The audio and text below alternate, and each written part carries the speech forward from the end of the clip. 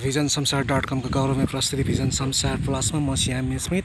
तपाईँले यो देखिरहनु भएको छ यो ललितपुर महानगरपालिका वडा नम्बर चौबिसमा रहेको यो धापाखेल एरिया रहेको छ। धापाखेल एरियामा देखिहाल्नु भएको छ अविरल वर्षाको कारणले जोखिममा परेको छ पहिरो आएको छ र नौवटा घरलाई यहाँ एकदम समस्या पारेको छ र समस्याको यो विक विपदको अवस्थामा चाहिँ यहीँका स्थानीय बासिन्दा अनि सामाजिक अभियन्ता अनि राजनीतिक विश्लेषक हुनुहुन्छ वाइबी तामाङ। उहाँलाई सिधै भन्दाखेरि युद्ध विक्रम तामाङ भनेर सबैले चिन्नुहुन्छ।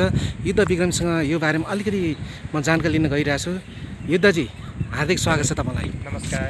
तपाईँको यो ललितपुर महानगरपालिका यो सहरभित्रकै यो धापा खेल वडा नम्बर चौबिस होइन? यो क्षेत्रमा चाहिँ यो मैले देखेको छु निकै जोखिम देखेँ यो यो पुरा के अरे यो पहिरोले गर्दाखेरि। नौवटा घर चाहिँ जोखिममा परेको छ। यसको बारेमा अलिकति जानकारी दिनुहोस् न। यो यो चाहिँ पहिलादेखि खासमा यो यसरी पहिरो गएको पहिला चाहिँ हजुर?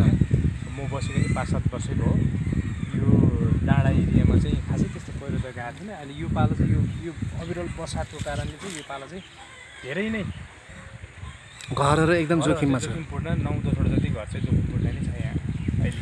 अनि यहाँ कुनै मानवीय क्षतिहरू कुनै पशु चौपाएर कुनै क्ष- क्षतिहरू केही भएको त छैन? मानवीय क्षति चाहिँ हुनु पाएन। यो पहिला नै दिउँसो परेको पानीले गर्दाखेरि चाहिँ मानवीय बस्ती चाहिँ मानव जुन हामीले चाहिँ क्षति हुनबाट चाहिँ दिउँसो नै हामीले चाहिँ उद्धार चाहिँ गर्नु उद्धार गर्यो। अब यस्तै विपदको कुराहरू चाहिँ गर्दाखेरि चाहिँ अब वाइबी तामाङ यानि युद्ध विक्रमजीले चाहिँ सिन्धुपाल्चोकको जम्बू एरियामा जुन एकदम ठुलो बाढी पहिरो आएको थियो त्यसमा तपाईँले धेरै सह गर्नुभएको छ होइन? त्यसको बारेमा पनि अलिकति जानकारी दिनुहोस् न। जम्बू एरियाको लागि चाहिँ अब हामीले बाढी पीडितको लागि सहयोग भन्दा पनि त्यहाँ चाहिँ समग्रमा मैले चाहिँ त्यहाँ जति पनि बाढी पीडित बाढीबाट जस जति पनि मानिसहरू मृत भयो। हजुर। त्यसको लागि चाहिँ हामीले त्यहीँ गएर मृतक परिवारहरूलाई हामीले वास्तविकता आधिकारिक रूपले बुझ्दाखेरि चाहिँ हामीले के सहयोग गर्न सकिन्छ भन्ने सन्दर्भमा चाहिँ हामीले सहयोग भन्दा पनि जति पनि जुन जम्बू घटना दुःखदायक घटना छ त्यो घटनामा चाहिँ अ, धेरै मानिसहरू मरे जम्मा उन्नाइसजना मानिसहरू मरे त्यसमा चाहिँ त्यहाँ मृतक परिवारहरूले के एउटा सल्लाह सुझाव दिनुभयो भने हामीले चामल ल्याउनु सट्टा अर्थात् केही पैसा दिनुभन्दा हामीले चाहिँ त्यो मृतकको आत्मा शान्तिको लागि चाहिँ त्यहाँ चाहिँ पूजा गरिदियो भने यो चाहिँ उत्तम हुन्छ भन्ने हिसाबले चाहिँ हामीले चाहिँ त्यो उन्चासौँ दिनको दिनमा चाहिँ हामीले मृतक परिवारसँग सल्लाह गरेर त्यहाँ चाहिँ हामीले उन्चासौँ दिनमा बुद्ध धर्मअनुसार बौद्धिक धर्मअनुसार चाहिँ हामीले चाहिँ त्यहाँ चाहिँ पूजापाठ गर्ने हामीले निर्णय गरेका छौँ त्यहाँ। भनेपछि पूजापाठ गर्ने निर्णयको चाहिँ उहाँहरूको चाहना बमोजिम गर्नुभएको छ। उहाँहरूको चाहना बमोजिम नै हामीले चाहिँ किनभने हाम्रो बुद्धिस्ट धर्ममा चाहिँ हामीले एउटा व्यक्ति मर्दाखेरि क्रिया गर्दाखेरि तपाईँको धेरै खर्च हुने गर्छ। होइन? एउटा व्यक्तिले चाहिँ कम्तीमा एकदेखि डेढ लाख रुपियाँ खर्च हुन्छ सिङ्गल गऱ्यो भने। त्यस कारणले गर्दाखेरि चाहिँ सक्नेले आफ्नो हिसाबले गर्दा भइहाल्यो।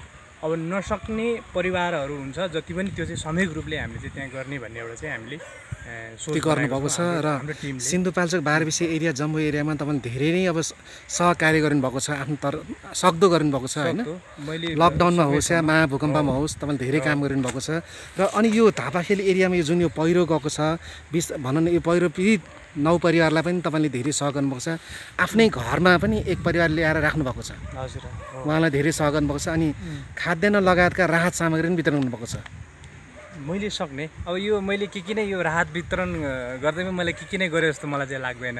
एउटा एउटा युवाको हिसाबले हामीले एउटा मानवीय हिसाबले अब म, पर्दाखेरि कि मान्छेले भन्छ नि कि पर्दा कि मर्दाखेरि सहयोग गर्ने हो।